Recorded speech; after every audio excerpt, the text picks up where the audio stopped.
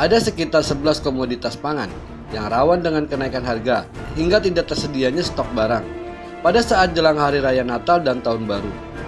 Banyak beberapa para pedagang nakal melakukan penimbunan hingga menaikkan harga secara drastis, bahkan mencapai dua kali lipat dari harga normal.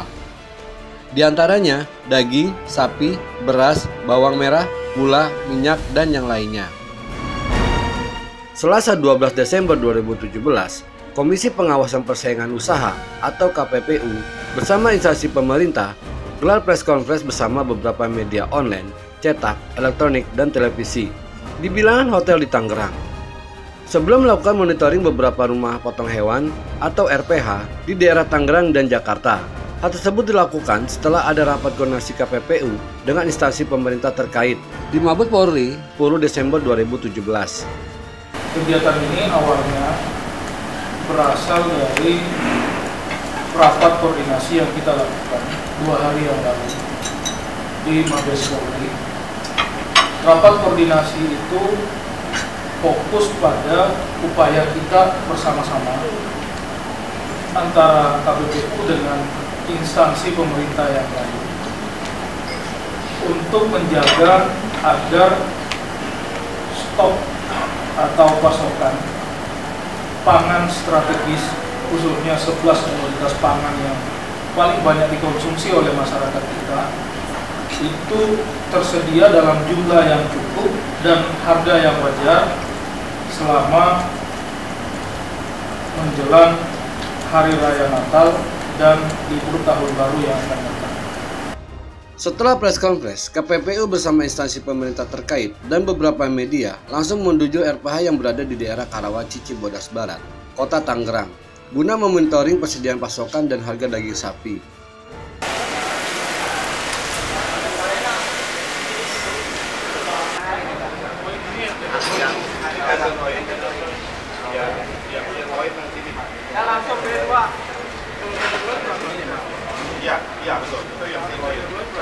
Malam ini kita di uh, eh, RPH uh, eh, dan rumah potong hewan di Karawaci yang kami temukan itu adalah satu pasokannya sangat baik, relatif uh, stabil.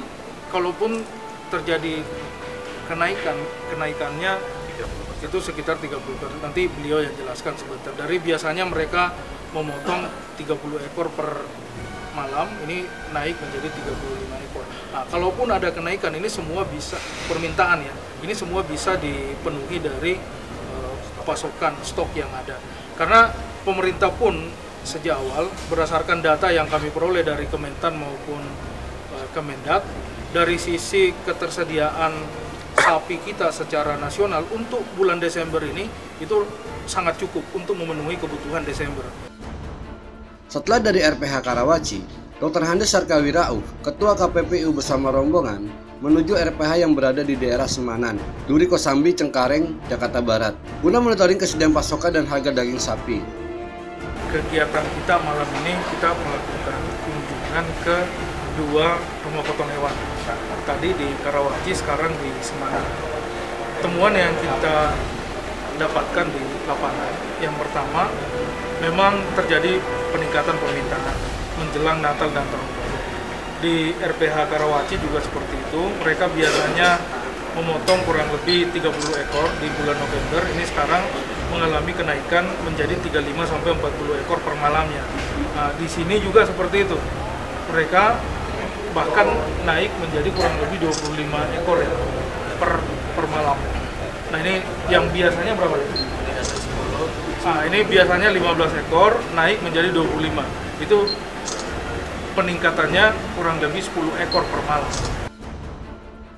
Dalam kesempatan tersebut dan setelah mengunjungi beberapa RPH, Ketua KPPU Sarkawi Rauf menjelaskan, jelang hari raya dan tahun baru, pasokan hewan sapi mencukupi dan harga daging relatif stabil. Meskipun permintaan meningkat, tapi faktanya harga malah turun. Nah di RPH Karawaci tadi mereka menyebutkan biasanya sapi hidup per kilo itu 42.500. Sekarang mereka jual hanya 41.500, turunnya kurang lebih 1.000 per kilo untuk sapi hidup. Nah, Di sini pun juga seperti itu. Mereka biasanya menjual yang eh, paha belakang itu kurang lebih 110.000 per kilonya. Sekarang mereka jual 100.000 yang biasanya dijual pada harga 85.000 mereka tinggal menjual 80.000 artinya fakta-fakta yang disampaikan kemarin di rapat koordinasi yang kita lakukan di Mabes Polri bahwa pasokan sapi menjelang Natal dan Tahun Baru ini cukup faktanya memang cukup. Karena berdasarkan data yang ada kebutuhan daging sapi kita untuk bulan Desember tahun 2017 ini kurang lebih 50.479 ton. Yang tersedia di pasar kebutuhan yang sanggup untuk dipenuhi oleh pemerintah maupun swasta itu kurang lebih 70.662 ton. Artinya masih ada kelebihan sekitar 20.183 ton. Bahkan menurut data yang kami peroleh sudah ada kurang lebih 16.000 ton yang siap masuk ya. 10.000 untuk daging sapi dan 6.000 untuk daging kerbau. Nah sehingga tidak ada alasan terjadi lonjak, lonjakan harga tidak ada alasan terjadi penurunan pasokan daging sapi ke pasar. Artinya kebutuhan untuk bulan 12 ini semuanya bisa terpenuhi